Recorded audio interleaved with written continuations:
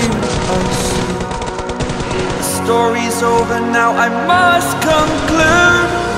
I am conflicted, watching where I step still. Hanging in the balance, not the life I want to live. I want to take it all, standing tall. Fear I the person you